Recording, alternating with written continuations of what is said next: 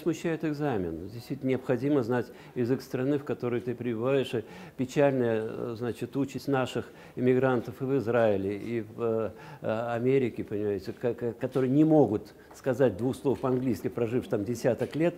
Э, это производит жуткое впечатление и на нас, и, я думаю, на тех, кто принял, те, те страны, которые их приняли. Другой вопрос, что, во-первых, за этот экзамен, за сам экзамен – Сейчас в проекте значит, э, пытаются взять с, с иммигрантов по 5 тысяч рублей. Это большая сумма, э, господа. И потом я не понимаю, вот опять какая логика, какой разум. За что можно взять 5 тысяч рублей только за, за принятие этого экзамена? Второе, конечно, Вторая, конечно, проблема очень большая, э, но связанная с одной из наших бед. Да. Есть сейчас хороший анекдот, мне, мне очень нравится, что в России четыре беды, э, две из них э, хорошо нам все известны, а две остальные – дураки и дороги. А, а, так вот, это, я считаю, пятая беда – это коррупция.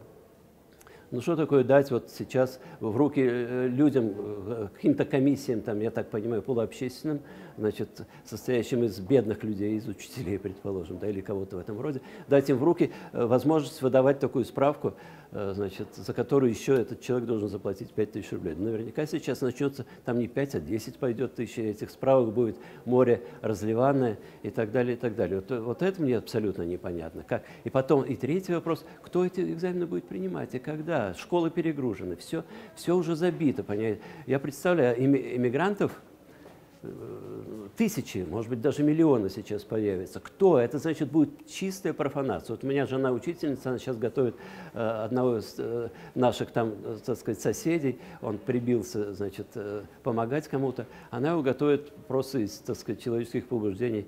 Э, все, да.